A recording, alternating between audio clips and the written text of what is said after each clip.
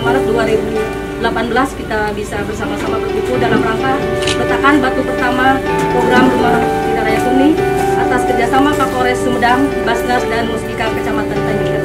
Terima kasih kepada Basnas, dua Basnas Sumedang diwakili. Dan ini juga kegiatan ini ya kegiatan kemanusiaan dan peduli rasa peduli kita terhadap lingkungan dan lingkungan wilayah kita.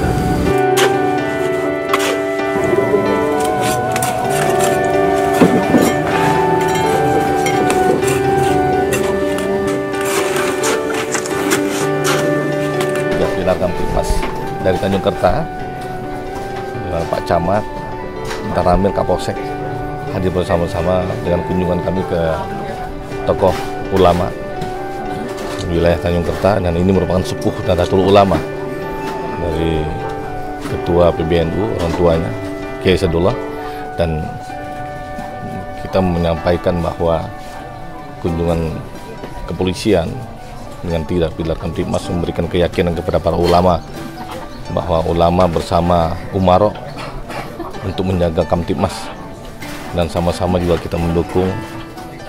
Jangan sampai mudah terprovokasi ataupun ada isu-isu yang sekarang beredar isu ulama akan diserang oleh suatu kelompok-kelompok ataupun nanti ada orang-orang yang tidak berkepentingan. Alhamdulillah dari para ulama kita mendukung semua.